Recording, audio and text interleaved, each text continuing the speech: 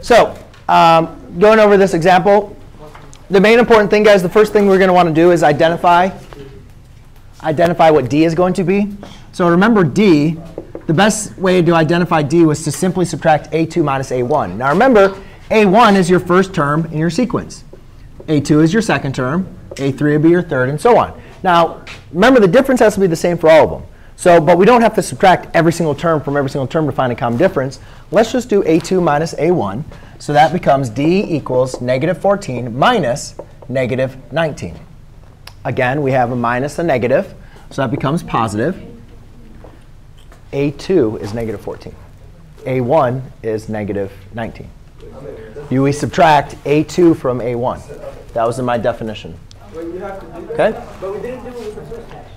Yes, we did. Well, because the first one was kind of obvious. You could see the first problem that we did, you, it was obvious that the difference was 2. Well, maybe it is. But what if I give you a problem that's not obvious? Then you're going to want to follow this technique. OK? So d equals negative 14 plus 19 is going to be a positive 5. So our d is going to equal 5. Sinan, please. Now, all I'm simply going to do is add the information in that I have. Now, we're trying to find the 40th term, so that's going to be a to the 40th. a to the 1 is negative 19, plus n, again, is the same thing as your 40, so that's going to be 40 minus 1 times d, which is 5.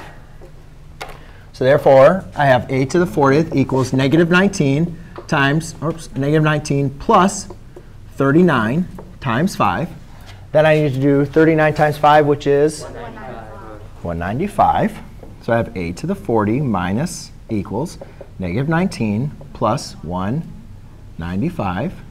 And then you simply subtract, and you get, uh-oh, positive 176. We have some students that are learning. Uh-oh.